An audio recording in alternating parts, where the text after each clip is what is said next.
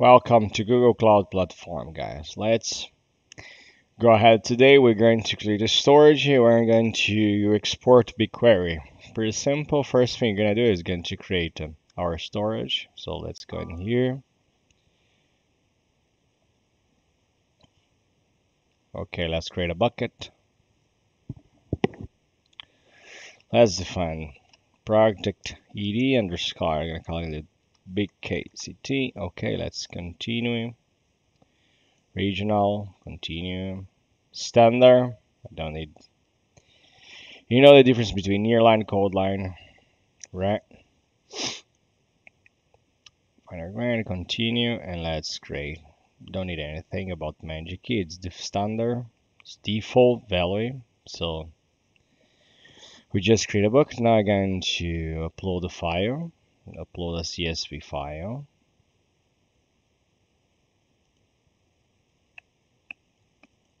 I choose just choose this one. I gotta select OK. This is our CSV file. Open. It finishes. Now we're going to big data. Big data, so BigQuery. Some info. Here we don't have a data set, we have to create our set. We're gonna call it whale report. Report. Full location, crypto Google managed key, create a set. Now that we have the set, there's no table, so let's create a table. Let's Google Cloud Storage. You could select also from Cloud Bigtable, whatever. Our lesson today is about the storage, which is going to export. Okay, select. Already identifies the format. You see, you saw before that was the Apache Avro before the format. Native table. Let's call it. Um, it was uh, tech chunk just gonna save the name. Schema auto detect no partitioning. So let's create a table. You know I'm gonna enable the cloud shell. Okay let's just minimize this.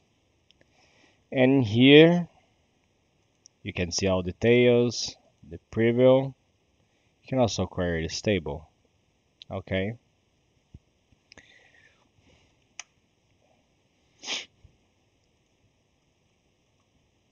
So everything is up to do here. It's all right. You already exported. We create a table from a CSV file where I recognize the header. I'm gonna show the file. So from this file, which I'm going to show you guys,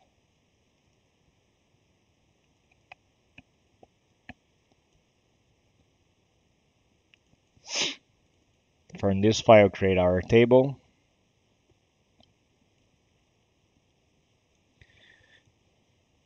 And okay you can double check. We had 1060 rows. Correct. You can query that from the cloud shell. So BigQuery query you're gonna let's take it out this still not requires let's take out this quote single quote.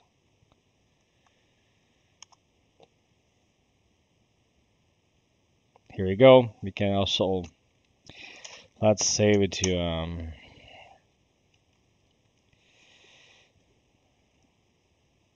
call it call it dash report CSV. Okay, ls. Now we're going to gsutil cp. Let's go these to the bucket. So our bucket is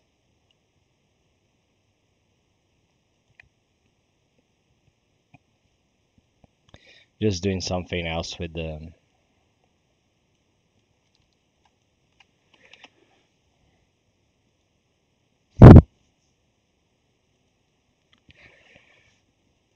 So here you have your, I don't know, the CSV file already had, sorry, the TXT file. I don't know, it's just this report, I call it.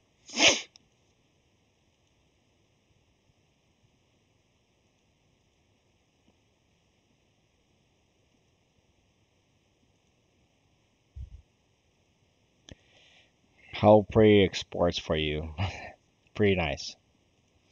So this is a simple way you could do um, exploration to have a data file, a CSV file. You can put into a storage, a blob. It's not a file system, it's just a blob storage. Then you create a big table from the CVS CSV file, which you can run queries, etc., like I did before. So this is how simple to work with the big data and uh, the support they can all they have with the SQL SQL solutions I would say with the, the data store solutions. Thanks for watching. Bye bye.